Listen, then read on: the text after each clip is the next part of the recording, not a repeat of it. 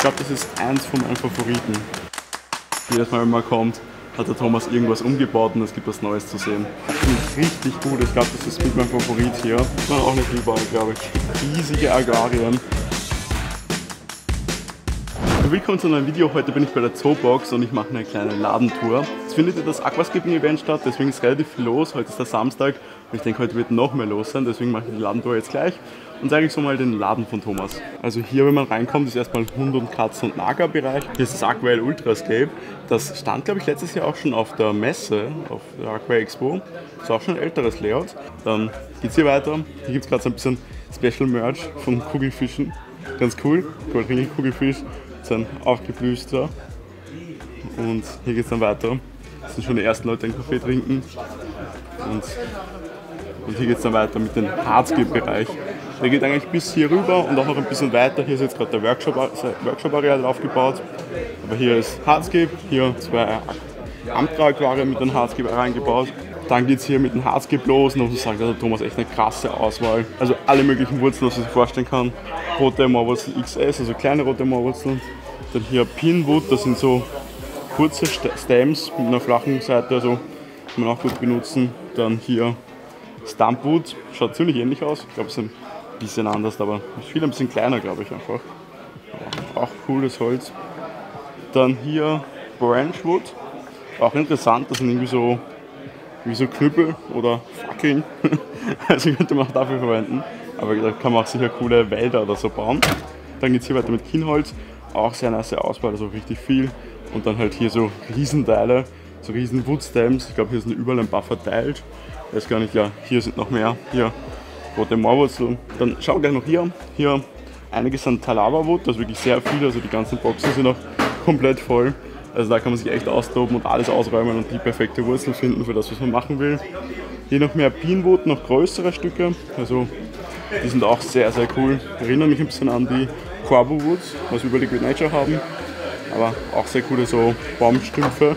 Und jetzt hier weiter mit Mangrovenholz. Auch schöne Wurzeln.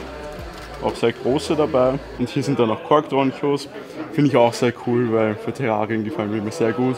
Benutze auch manche für Aquarien. Vor allem für Terrarien finde ich sie sehr nice und da ist auch eine Riesenauswahl. Also kann man sich das perfekte raussuchen. Ist halt alles ziemlich lang, muss man halt abschneiden und kann man dann mehrere Stücke davon verwenden, also reicht dann auch. Dann geht es hier erstmal weiter mit ähm, Steinen. Hier Dragonstone gewaschen, also auch gewaschene Steine. Ich glaube, hier sind gerade ein paar dazu. Die sind eigentlich hier rüber wahrscheinlich oder irgendwo anders sind, weil die sind nicht gewaschen, aber die meisten davon hier sind gewaschen, was auch sehr nice ist. Deswegen sind die ein bisschen teurer. Hier gibt es auch noch Drachensteine. Sonderaktion 2,50 Euro, also die ganzen Restposten wahrscheinlich, die ganzen kleinen Steine.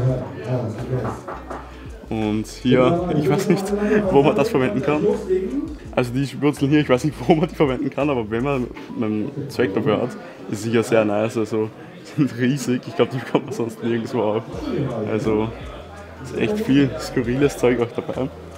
Dann hier ganz klassisch schwarze Lava, mein Lieblingssteinart, also das wasserneutral, schaut immer sehr nice aus.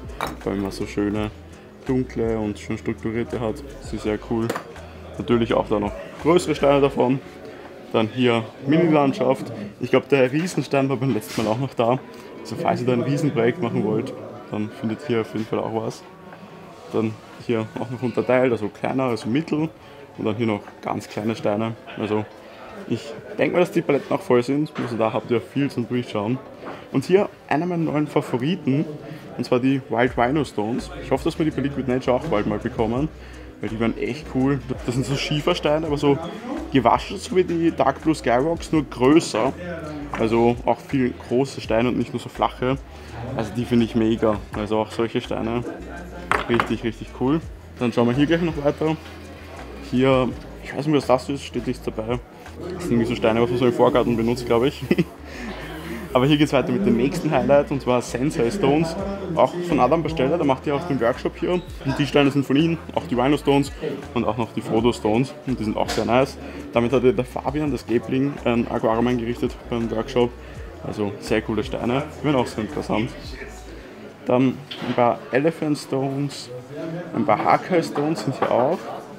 Wobei hier nicht so viel da ist. Also die, ganzen hellen sind keine Hakai Stones, aber die größeren hier sind gerade nicht so viel da. Sonst hier noch versteinertes Holz, auch ein sehr cooler Stein, den ich viel zu selten bis jetzt benutzt habe. Ich glaube erst einmal bei einem Aquarium, muss ich irgendwann auch wieder mal benutzen. Schaut immer sehr nass aus mit Driftwood in Kombination. Dann hier noch dunkle Pagode, gibt es auch bei Liquid Nature, auch sehr schöne Steine.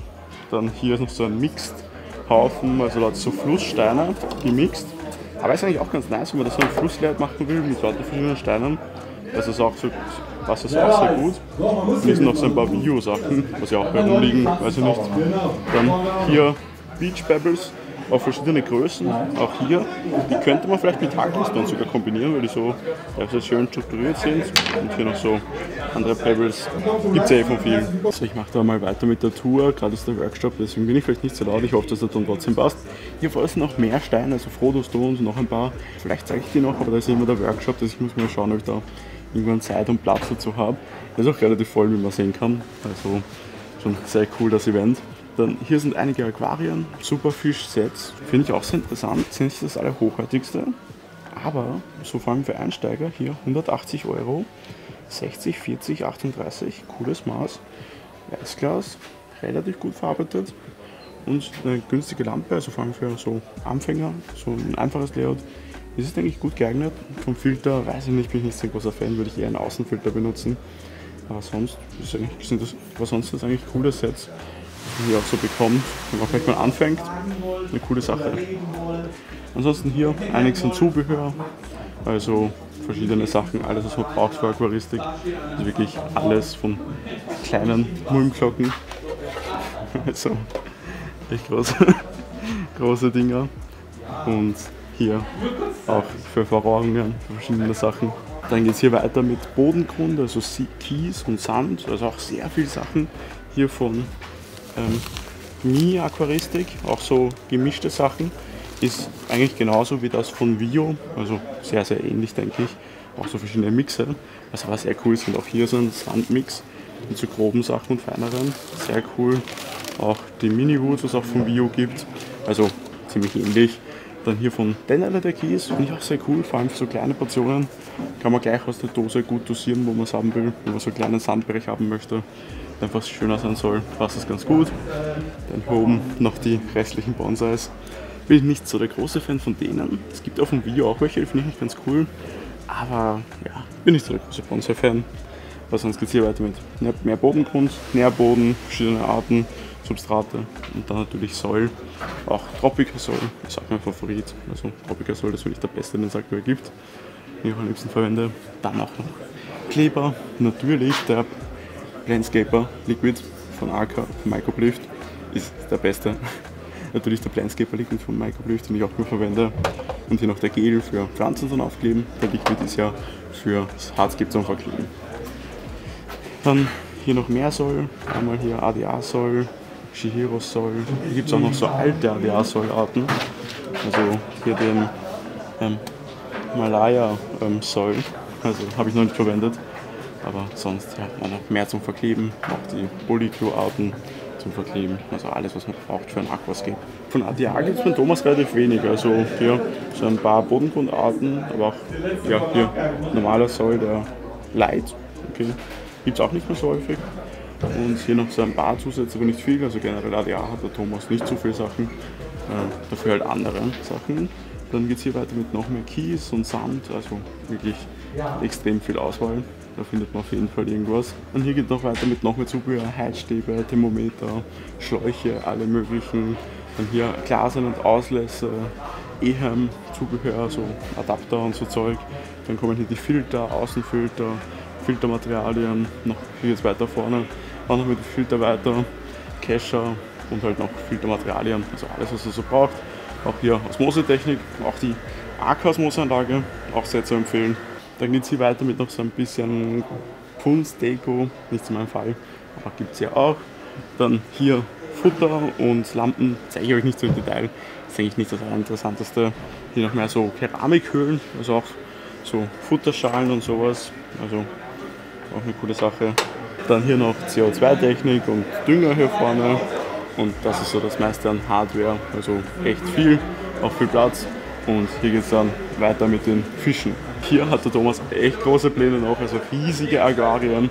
Die sind echt krass. Ich glaube, das sollen so Kontinente immer sein. Also es ist mehr fischlastig. Zwar schon in die Jakobsgebirge-Richtung, aber halt hauptsächlich für Fische in der Größe. Ist halt echt krass. Ich weiß nicht, ob man das irgendwie sehen kann. Also, das ist echt riesig. Hier geht es dann weiter. Die Fischanlage ist neu. Die stand letztes Mal noch da drüben irgendwo, aber noch leer. Und jetzt steht sie hier. Hier sind einmal Garnelen und Kampffische. Also auch alles Mögliche an Tieren. Also dafür ist der Thomas ja bekannt. Und hier ein paar super Crystal Red Garnelen. Dann hier noch mehr in Schwarz. Hier noch andere. Also echt viele unterschiedliche. Hier noch mehr. Das sind dann die Red Bee Garnelen. Dann hier oben Kampffische. Aber soweit ich das gesehen habe, hat der Thomas nur so kurzflüssige Kampffische. Was ich auf jeden Fall besser finde, weil die mit den langen Flossen, die können einfach nicht gut schwimmen. Würde ich euch nicht empfehlen. Holt euch, wenn ihr welche wollt, solche mit kurzen Flossen, aber nicht die mit den langen Flossen, was überzüchtet sind und nicht mal richtig gut schwimmen können. Hier unten sind noch mehr Garnelen. Ich denke, hier sind auch so Standardsachen dabei, wie Red Willy Garnelen, wie Red Willy Garnelen, hier so auch orange Zwerggarnelen. Dann hier ist glaube ich ein Mix, da steht auch nichts dabei. Dann hier Red Sakura Garnelen und hier Blue Jelly. Dann hier unten noch Bloody Mary Garnelen.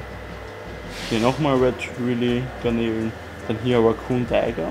Schaut interessant aus, finde ich. Weil die halt nicht so rausstechen, wenn man Aquas geht. Und hier noch Blue Velvet Garnelen. Dann geht es hier weiter mit Malawi-Richtung, soweit ich das einschätzen kann. Ich muss sagen, kenne ich mich gar nicht aus. Aber es sind halt so große Barsche. Aber auch ein interessantes Thema. Kann man auch ein cooles Aquarium einrichten, nur mit Steinen, ein richtig schöner Aufbau und dann so Malawis rein. Das finde ich auch interessant. Hier noch irgendwelche Wälse. Sehr große Fische auf jeden Fall. Hier noch ein paar kleinere. Ich werde jetzt hier einige Fische zeigen, aber nicht alle. Ich habe auch ein Video gemacht, wo ich euch die Besonderheiten zeige, also besondere Fische. Kommt wahrscheinlich später raus, da könnt ihr auch noch reinschauen. Schauen wir, was es sonst noch gibt neben den ganzen Malawis hier. Hier sind noch mehr kleine Aquarien, so ich sehen kann, hauptsächlich Schnecken. Also auch viele verschiedene Schnecken in verschiedene Arten von Geweihschnecken, Stahlhelmschnecken, Anthrazitnapfschnecken, Posthornschnecken, alles was sich an Schnecken so wünschen kann, denke ich, gibt es ja auch. Dann geht es hier weiter, auch noch ein paar exotischere Fische zum Teil, was ich noch nicht so richtig gekannt habe. So wie der Buckelkopf, ähm, was steht hier? Buckelkopf-Buntbarsch. Finde ich aber auch cool, weil die so auf den Steinen liegen und eigentlich so herumliegen und nichts machen. Schaut auch irgendwie cool aus. Dann sind hier noch ein paar Honiggoramis, glaube ich, dabei. Dann hier drunter noch mehr Barsche. Hier ein paar Regenbogenfische. Hier unten ein paar Kongosalmler, die auch schon teilweise ganz schön ausschauen mit den Flossen, das dauert immer ein bisschen. Also falls jetzt Fische dabei sind, die ihr interessant findet, dann schaut auf jeden Fall das andere Video dabei, weil ich werde euch jetzt die vom anderen Video natürlich nicht nochmal hier zeigen. Es ist noch Fische, was ich nicht gezeigt habe, und zwar indische Glasbarsche. Das sind auch sehr interessant. Hier sind noch ähm, Streifenhechtlinge, das sind auch sehr cool, so Oberflächenfische. Sind halt in offenen Aquarien immer schwierig. Auch so hier die Schnabelhechtlinge hier drüben. Aber eigentlich so Oberflächenfische habe ich für mein Juwelaquarium gedacht. Also vielleicht so Hechtlinge, jetzt nicht genau die. Oder halt Beibäuche wären auch cool für die Oberfläche, für das Juwelaquarium. Dann geht es hier weiter mit ähm, goldene Kongosalmler. Die habe ich überlegt für das 120p in Kombination mit den Kugelfischen. Wären schon sehr cool, wären auch nicht so groß und schauen richtig gut aus, wenn die schon ein bisschen größer sind. Also die wären eine Option. Hier drunter sind noch andere Kongosalmler und zwar schwarz-blaue Kongosalmler. Sieht man ja gar nicht so, ist ein bisschen Schwarzwasser. Und sich die halt hier im Aquarium auch wohlfühlen. Gefallen mir jetzt nicht so wie die goldenen, aber sind auch ganz cool. Dann ist hier noch so ein Riesenteil. Ich weiß gar nicht, wie viel es davon gibt. Drei oder vier. Da bin ich sehr, sehr gespannt, was da raus wird. Da sind hier noch viele große Fische, verschiedene Barsche und so weiter. Und auch so ähm, große Panzerwälse. Und hier so ein Riesenblecko, den habe ich aber auch schon gezeigt. Dann sind hier mehr Fische, die es auch bei Liquid Nature gibt. Also so kleine, hier die, ja, hier sind wieder so Ringelhechtlinge und, und, Hechtlinge. Die sind eher nicht so für Aquascapes. Aber hier die normalen Leuchtaugenfische oder, oder hier die verschiedenen Boraras. Die sind immer sehr, sehr cool. Vor allem auch in großen Aquarien finde ich die auch cool, wenn man da eine große Gruppe hat, die herumschwimmt, dann wird das Aquarium nochmal größer. Finde ich auch immer sehr nice. Dann hier noch Kubodais. Dann noch mehr Boragas, dann hier drunter Bitterlingsbarben, also wir fangen die Barben an. Einmal Bitterlingsbarben, die werden ja auch richtig rot, wenn die älter sind und adult sind und es denen gut geht. Dann hier die Angola-Barben, die werden auch noch um einiges größer, aber die sind auch sehr cool, aber sind ziemlich gestresst. Also schwimmen schon viele rum äh, im Aquarium, brauchen schon ein großes, also brauchen auch schon ein größeres Aquarium. Bitterlingsbarben finde ich dagegen um einiges entspannter. Dann sind hier noch Purpurkopf-Barben, ähm, auch sehr schöne Fische finde ich, sieht man auch nicht so oft. Dann hier noch mehr Klassiker, hier Espreis Keilfleck-Werblinge, auf jeden Fall ein sehr guter Fisch für Aquascapes. So, dann hier sind noch Lavigesia Raloffi, finde ich auch sehr cool. Fisch aus Afrika, gefällt mir auch sehr. Und ja, hier noch fünf Viertelbarben und noch mehr Barben. So, hier sind noch mehr Aquarien, einmal das von Fabian und dann das, was der Dave Chow noch einrichten wird. Und wahrscheinlich wird das die Therese anrichten im Workshop später. Dann gibt es hier noch einige Kugelfische und Schlangenköpfe, die sind dann im Special-Video drinnen. Auch so den Rest der Fischanlage, das sind auch viele Leute. Aber das ist auch noch ein paar Standardfische und noch ein paar besondere Fische. Dann gibt es hier ein Aquarium, das ist so eine Mischung aus Schauaquarium mit ein paar Pflanzen und Verkaufsanlage. Hier sind die ähm, Fantastik Kongosalmler, die Feuerroter Kongosalmler. Die schauen dann auch richtig gut aus, jetzt noch nicht so, aber wenn die dann ein bisschen größer sind, sollen die richtig, richtig nice ausschauen. Die wären auch eine Option statt den goldenen. Also gefallen mir auch sehr. Und hier ist auch noch ein Goldringe-Kugelfisch irgendwo. Und zwar hier. Hier hinten versteckt gerade. Dann gibt es hier einige in Vitros. Hier sind noch insgesamt vier Kühlschränke. Jetzt auch die eigenen von Zoobox mit den, großen Töpfe. Dann kommt hier ein Schauaquarium und ich glaube, das ist eins von meinen Favoriten. Das schaut richtig gut aus mit dem grünen Lotus. Das gefällt mir sehr. Also ein sehr schönes Aquarium. Auch mit Kongo-Sammler, glaube ich. Also schaut richtig gut aus. Dann ist hier neben den anderen In-vitro-Kühlschränken noch ein Schauaquarium, was auch richtig gut ausschaut. Das hier die Rotales im Hintergrund. Das könnte die Blood Red sein, weil die so richtig rot ist. Vielleicht könnte das die Hara sein, was jetzt noch ein paar Mal zurückgeschnitten werden muss, damit sie noch mehr rot wird. Da sieht man den Unterschied ganz gut. Die Blood Red ist halt einfach noch mal mehr rot. Aber sehr cool. Also das ist, denke ich, noch nicht so alt oder zumindest zum Teil neu gesetzt. Also hier auch der Bodendecker ist noch nicht ganz dicht. Hier ist dann Erich Harris. Ich weiß nicht, das ist vielleicht das Einzige, was mir den Aquarium nicht ganz so gefällt, jetzt wo ich genauer schaue. Das ist halt hier ist, äh, hier ist Monte Carlo, denke ich, oder Hemianthus Cuba. Dann ist hier Erich Harris und dann ist hier wieder Monte Carlo. Ja, ich denke, mir würde es besser gefallen, wenn es einfach gemischt wäre, so miteinander. Aber ich glaube, das Konzept ist einfach die Pflanzen herzuzeigen, weil hier lauter so Büsche sind, fast in so wie so ein Holland-Style-Aquarium hier. Rotala Valici, hier Polysperma rosa nervig, glaube ich, ist das. Hier hinten noch Polystemon erectus oder Giganensis heißt hier mittlerweile. Dann hier noch die Fieder, Korallenmoos und noch viel mehr an Pflanzen. Hier auch Lobelia cardinalis mini, dann eine Putzphalandra und hier oben noch ein paar andere Pflanzen, die rauswachsen. Zum einen eine Lagenandra, glaube ich, müsste das sein, eine Anhubias cassidis und hier die Wassermimose da habe ich von Tobi hier von der Zoobox eine Portion bekommen. Also sehr cool, freut mich sehr. Ähm, die finde ich sehr cool, weil die so, so Polster bildet. Also die Dinger hier, was hier drauf sind, das ist kein Styropor, sondern das ist von der Pflanze selbst. Das sieht aus wie Styropor. Aber das macht die, damit sie so schwimmen kann. Also echt sehr interessante Pflanze. Dann ist hier so ein Raumteilaquarium, auch wirklich den Raum gut teilt. Ein Oase. Das stand, glaube ich, auch auf der Messe. Ich habe es auf der Messe frisch eingerichtet, also vor einem Jahr. Hier sind aber ein paar Algen drin, was ich schon gesehen habe. Also hier überall so ein bisschen, aber dennoch im Großen und Ganzen schaut das ganz gut aus. Dann geht es hier weiter auch mit einem frischen Aquarium, einem 60er. Das ist auch frisch bepflanzt mit sehr vielen Pflanzen, die ich jetzt auch auf den ersten Blick gar nicht kenne. Also die im Hintergrund sagt mir jetzt nichts. Das ist die Flamingo, die Kryptokoine Flamingo. Das ist eine, ich denke Aerocolon, aber ich weiß gar nicht welche. Dann Phyllis Japonica, und hier bin ich mir auch nicht sicher, was das für eine Stängelpflanze ist. Die ist auch gerade beim Umstellen. Das kann man ganz gut sehen. Oben so längliche Blätter, unten so runde Blätter. Das sind die Emersenblätter, was über Wasser gewachsen sind. Dann sind hier noch zwei Harzgebackwarien. Einmal im Darkstart mehr oder weniger. Mit Drachensteinen. Schaut auch sehr spektakulär aus. Und hier noch eines mit den Frodo Stones. Das sind die Aquail Aquarien mit 90 cm Tiefe.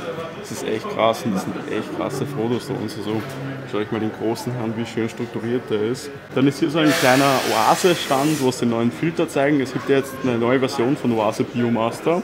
Der hat ein neues Vorfilterrohr. War ja immer so, dass wir die alle eigentlich vorgebaut haben und jetzt haben sie einen Rohr mit mehr Löchern. Endlich, war lange Zeit und sonst sind noch ein paar Sachen verbessert. Ich glaube, der Kopf oben ist ein bisschen verbessert, dass das Wasser besser rausfließen kann. Und die Ein- und Auslässe sind jetzt neu, dass die rund sind und nicht mehr so eckig, damit halt mehr Wasser durchkommt. Ist jetzt für uns wahrscheinlich für die meisten Aquascaper egal, aber wenn man die benutzen will, sind die jetzt auf jeden Fall besser als vorher. Dann ist hier noch ein 60F, auch sehr cool mit ähm, Mini-Landschaft, viel Moos, also Korallenmoos und ich glaube hier noch ein bisschen Christmas Moss oder so und viele Aufsitzerpflanzen, also viele Bucephalantras, Anubias, glaube ich, sind auch dabei, ein paar kleine. Oder es könnten auch nur Anubias, äh, nur Bucephalantras sein. Aber auch sehr schön. Dann hier ist noch das Licht aus. Ich glaube, da werde ich euch nachher noch Aufnahmen einblenden. Aber hier sind auch verschiedene Aufsitzerpflanzen. Wer schon jetzt noch Aufnahmen mache, was ihr jetzt gerade seht, wenn ihr jetzt nur ein schwarzes Aquarium seht, was nicht hell ist, dann habe ich keine Aufnahmen davon gemacht. Dann steht hier das Aquarium von Adam Bastella, was er gestern eingerichtet hat im Workshop. Das schaut echt spektakulär aus, richtig krass. Das wird nicht bepflanzt, das bleibt so. Deswegen wurde auch hier nur Sand verwendet. Aber schaut mega gut aus. Hier ist noch ein Paludarium, das finde ich richtig gut. Ich glaube, das ist mit meinem Favorit hier. Also in so einem Dennerle Cube, ich glaube es ist ein 70er Cube. Hier ist ein Wasserteil und die Pflanzen schaut einfach mega gut aus mit der schwarzen Lava. Hier Korallenmoos, andere Moosarten, verschiedene Aquariumpflanzen, aber auch Terrariumpflanzen. Hier oben zum Beispiel und hier eine schöne Orchidee und hier noch ein paar Podalas. Also richtig, richtig nice. So, dann hier noch was von der Fischanlage. Da sind auch noch ein paar coole Fische. Also ich glaube, da braucht man Tage, damit man alle Fische sieht. Hier zum Beispiel schwimmen gerade hektische Ronditorenaugen. Das sieht man in den Röhren. Es sind richtig viele in den Aquarium, aber die sind halt meistens versteckt. Aber die finde ich auch richtig cool. Also irgendwann möchte ich ein Aquarium haben mit Dornaugen. Also mal schauen, vielleicht passt mal in irgendeinen der nächsten Aquarien. Dann hier sind noch ein paar besondere Fische. Hier mal Flundern, die zeige ich euch in dem Fischvideo. Dann hier noch so kleine Welse, also Delta, Flügel, Zwergwels. Ist auch richtig interessant. Dann hier noch brauner Kugelfisch. Hier oben sieht noch einen. Und auch witzig aus und besonders aus. Das sieht man auch nicht überall, glaube ich. Und hier noch ein paar Welse und halt noch viele weitere Fische. Dann hier, hier steht einmal noch ein Aquarium mit vielen seltenen Pflanzen. Ich glaube, jeder davon ist irgendwie eine Rarität. Also hier der Lotus zum Beispiel schaut richtig krass aus, ein richtig knallpinkes Blatt mit einem hellgrünen, neongrünen Stiel. Richtig cool. Dann noch so ein kleiner Lotus und so ein roter, mit, der richtig rot ist mit grünen Punkten. Also irgendwie schaut der auch besonders. Ich glaube, es ist auch nicht ein, ein normaler Tigerlotus, noch ein bisschen besonderer. Und generell auch die was drüben war, die schaut sich auf jeden Fall besser aus mit CO2. Ist auf jeden Fall für die besser als ohne wahrscheinlich. Aber schaut auch cool aus. Ist halt auch so ein Showcase-Tank, was für Raritäten es gibt. Ich glaube, die meisten gibt es aber auch nicht zu kaufen. Aber man sieht sie zum Beispiel hier mal. Dann ist hier das Aquarium, was der Roland eingerichtet hat, gestern beim Workshop. Gefällt mir auch sehr gut. Ist auch so Biotop-Style, aber in Aquascape-Richtung. Ich glaube, das hat auch Zukunft, dass man auch mehr so Aquarien macht, die so in die Aquascape-Richtung gehen, aber auch so Biotop-Richtung. Eine Kombination, die dann auch ein bisschen pflegeleichter ist. Da möchte ich auf jeden Fall in Zukunft auch mehr machen. Okay, hier noch ein paar Steine, vor allem hier die Dracula Stones sind sehr cool. Die sind auch so ein Schieferstein, aber auch so ähm, kantiger, aber auch dickere, also größere sind da dabei. Also die sind auch sehr cool. Gefallen mir auch sehr. Dann sind hier noch mehr, das sind Dune Stones, noch sehr ähnlich zu den Frodo Stones. Und hier sind dann noch Frodo Stones, also die, die was man auch schon kennt. Die Frodo Stones. Und dann ist hier noch ein bisschen Holz, hier sind so Driftwood-Stücke, die echt krass groß sind. Also ich weiß nicht wie groß das ist, ich glaube das ist größer als ich. Also echt riesig. Auch die hier vorne, die Struktur ist sehr cool. Dann hier noch mehr Driftwood. Ähm, Stinkwood, das ist denke ich auch wie Driftwood, halt auch eine andere Selektion einfach. Genauso wie hier auch eine Art Driftwood. Also sehr viel Holz und Steine, was man hier bekommen kann. Okay, das hätte ich jetzt fast vergessen, weil hier der Workshop stattfindet. Hier ist noch ein Show-Aquarium. Hier ist gerade dabei der Stefan und der Thomas zum Helfen. Und hier ist noch die neue Pflanzenanlage. Das sind insgesamt sechs Stück, ein Meter, also sechs Meter insgesamt.